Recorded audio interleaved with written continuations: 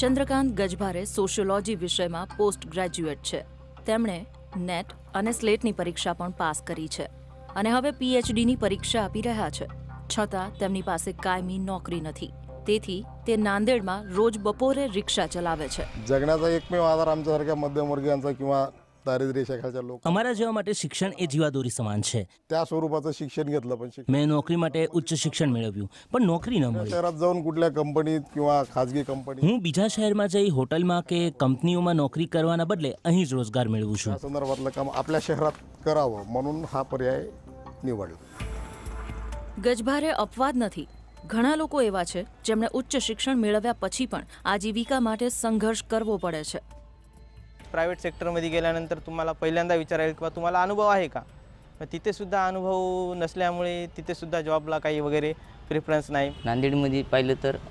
Government जॉबसाठी म्हणजे अ, शिक्षण वगैरे चांगलं आहे पण इंडस्ट्रियल एरिया नसल्यामुळे तिथं काही जॉब म्हणजे प्रायव्हेट जॉब वगैरे काही भेटू शकत नाही સ્ત્રી હોય કે પુરુષ જનરલ કે અનામત કેટેગરી નાંદેડમાં બધા જ નોકરી માટે સંઘર્ષ કરી રહ્યા છે गोदावरी के तट पर बसा नांदेड़ शहर शिक्षा का भी केंद्र है लेकिन यहाँ पर उच्च शिक्षित युवाओं को नौकरी की समस्या का सामना करना पड़ता है दूसरी तरफ पानी जगह और यातायात की सारी सुविधाएं होने के बावजूद नांदेड़ में कोई बड़ा उद्योग नहीं बस रहा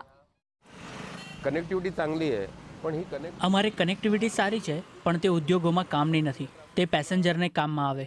અહીં સર્વિસ ઉદ્યોગ વિકસી રહ્યો છે પણ મેન્યુફેક્ચરિંગ ક્ષેત્રમાં નોકરી જ નથી किंवा उत्पादक इंडस्ट्रीसाठी अजून पाहिजे तसं नाही ઇન્ડસ્ટ્રીમાં સ્કિલ લેબર જોઈએ અથવા ટ્રેન્ડ સ્ટાફ જોઈએ कामगार कुशल कामगार पाहिजेत किंवा ઉદ્યોગો માટે ગુણવત્તાવાળો મેન પાવર નથી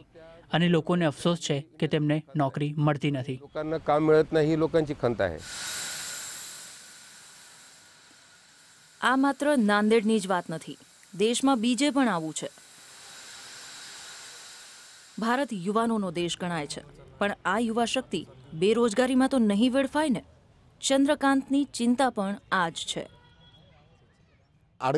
જો આડત્રીસ વર્ષની વ્યક્તિ જે પીએચડી થયેલી છે તેને નોકરી મળતી નથી તો દેશનું અને રાજ્યનું ભવિષ્ય શું એવો સવાલ થાય. ભારતના શ્રમ અને રોજગાર મંત્રાલયના આંકડા કહે છે કે દેશમાં બે હજાર પંદર સોળમાં બેરોજગારીનો દર ત્રણ પોઈન્ટ સાત ટકા હતો. બિઝનેસ સ્ટાન્ડર્ડ દૈનિકના અહેવાલમાં દાવો કરાયો કે એનએસએસઓના મતે બે હજાર સત્તર અઢારમાં આ દર છ પોઈન્ટ એક ટકાએ પહોંચ્યો હતો જો કે નીતિ આયોગે આ દાવો નહોતો સ્વીકાર્યો જો કે હજુ સુધી સરકારે બેરોજગારી પરના આંકડાઓ પ્રકાશિત કર્યા નથી